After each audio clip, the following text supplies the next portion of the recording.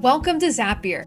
Whether you're new or an expert in automation, you've come to the right place. Throughout this email series, we will help you learn Zapier in 14 days and take advantage of how our AI automation platform makes life easier for IT professionals. We'll explore five different use cases like streamlining incidents, creating chatbots that work for you, managing access for employees, and more. By the end, you'll be confidently creating multi step automations that connect your favorite apps, save you time, and scale your automations. So let's jump in with our first use case, which is automating help desk tickets using Zapier. So, our Zap will look like this. When a new form submission is created in Zapier interfaces, Zapier Tables instantly creates a new record, and a summarized message of the ticket is sent to the IT team with the power of AI. A pretty simple but powerful Zap. So, let's get building. From the Zapier dashboard, click on Create and choose Interfaces. For this tutorial, we're going to build a form from scratch, but you can also build from an existing template, which is part of our Zapier templates library. Now that we're in the interface editor, let's choose the form option and start customizing our component. But first, it's going to ask us if we want to connect a table to this form. We'll do this in a later step.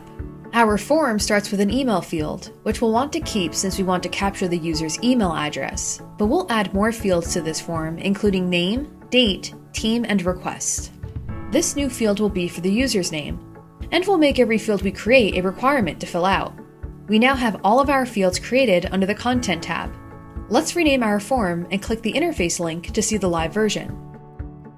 Our form looks great. Now that we created our interface form, we'll add our corresponding table to this automation from the Data tab. By adding the table through our interface form, the same fields will be added to our table.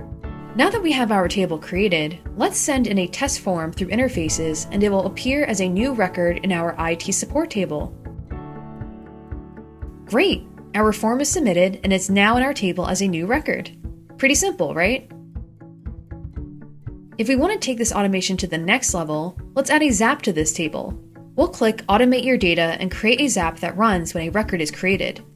This will take us into the Zap editor to start building this automation. Let's test our table step so we bring in the test record from our interface form. Now we're going to take this automation up a notch and add two additional steps. These actions will happen when a new record is created in our table. The first one will be our AI step, which we'll build using ChatGPT. We'll choose Summarize Text as the action event and connect to our ChatGPT account. You can connect a new account from here, and Zapier will walk you through those steps. Then, the next step is adding the text that we want to be summarized. For this field, we'll map our test record data to this field. So, we'll include the name, email, and team of the requester plus the actual request they submitted. We'll keep the rest of the fields the same and continue to test our step. ChatGPT successfully analyzed the original request and provided a TLDR summary for the IT support team. Next, we're going to add our last action step. We'll use Gmail as the app for our action step. Our action will be send email since we want to notify our support team. And then we'll connect our Gmail account. The next step is to map the corresponding data from our table to the email. And now we move on to the required fields, the subject and body of our email. For the subject field, let's add in static and dynamic text so that it matches the information of each request that comes in.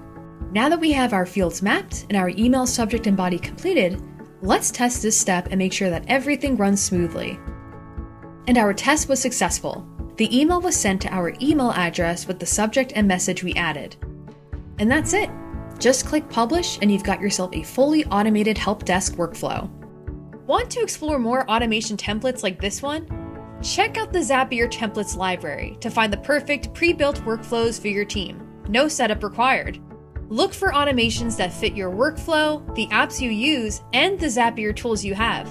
You'll find a pre made template that you can start using right away. What if your tickets could sort themselves? Next up, we're going to create an automated triage system that sorts tickets and performs different actions based on the issue and automatically notify the right teams. I'll see you in the next video.